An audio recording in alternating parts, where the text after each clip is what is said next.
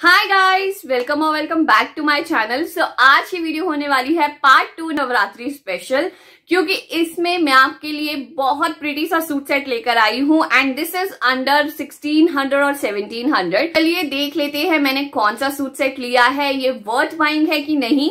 और नवरात्रि स्पेशल है तो ऑब्वियसली मैं आपके लिए कुछ ऐसा लेकर आऊँगी जो बहुत ज़्यादा हैवी भी ना हो, बहुत ज़्यादा डल भी ना हो, सारे एज के लोग पहन सके। मुझे आजकल मरून और व्हाइट और लाइक क्रीमिश का कॉम्बिनेशन बहुत ज़्यादा पसंद आ रहा है। जो इससे पहले पार्ट वन था, उसमें भी मैंने आपको व्हाइट और मरून का एक कॉम्बिनेशन का सूट दिखाया था, जो बहुत प्रिटी था। आप उस वीडियो को देख सकते हो, मैं आई बटन में लिंक कर दूँगी पार्ट वन भी, आप वहाँ भी देख सकते हो और ले सकते हो वो वाले सूट्स भी। सो so, ये इस तरह का सूट सेट है अनारकली है। आजकल मुझे अनारकली लेना बहुत ज़्यादा अच्छा लग रहा है। कलियों वाले अनारकली बहुत सुंदर लगते हैं फ़ंक्शंस में। And this is from the brand code Raj Mandir fabrics और पलक मतलब पलक ही बोलते हैं वैसे उसमें तो राज मंदिर फैब्रिक्स दिया था। सो so, जो मैंने इसमें साइज़ लिया है I mean the size medium I think small इसमें आता भी नहीं है। तो मैंने इसमें मीडियम लिया था और मुझे थोड़ा सा खुला है। But it's okay it's pure cotton shrink भी हो सकता है तो इसलिए मैंने मीडियम ही ले लिया।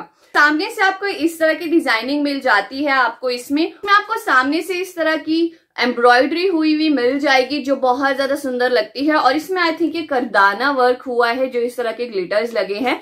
इसे करदाना वर्क कहते हैं आई थिंक और ये बहुत ज़्यादा प्रिटी लगता है पहन के। बहुत एलिगेंट कलर है।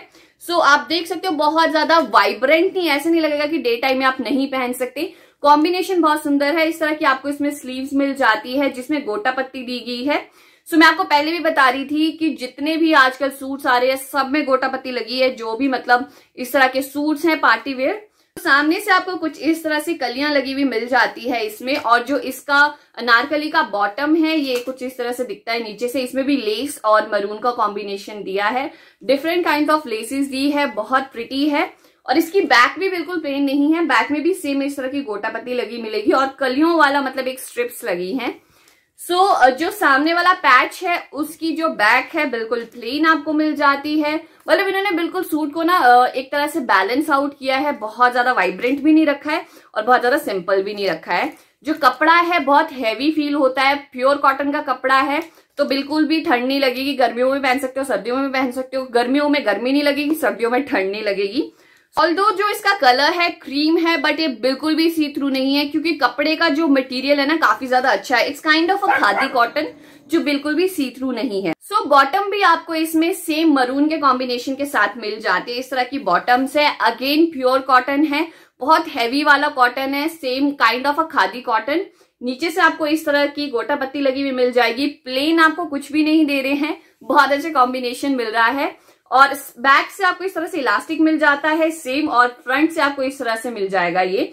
अगेन इसकी लेंथ भी काफ़ी ज़्यादा अच्छी है, लंबी लड़कियाँ भी इसे पहन सकती है और छोटी हाइट की भी। मेरी हाइट फाइव थ्री से थोड़ी ज़्यादा है ऑलमोस्ट फाइव फोर है। तो मुझे तो काफ़ी अच्छी लेंथ का आता है तो आप मुझसे लंबे हो still you can wear it so इसके दुपट्टे की बात कर ली जाए star of this whole suit जो मुझे सबसे ज़्यादा पसंद है इट्स काइंड ऑफ़ अ मलमल का जो कपड़ा होता है ना वो मलमल का दुपट्टा है, इसमें आपको मिल जाता है। सो इस तरह का दुपट्टा है। अगेन गोटा पत्ती लगी हुई मिल जाती है और इसमें इतनी सुंदर सी लटकन दी है ना मतलब वो चीप वाली लटकन नहीं है इस तरह की डिज़ाइन वाली है नीचे से आपको टेसल्स मिल जाएँगे।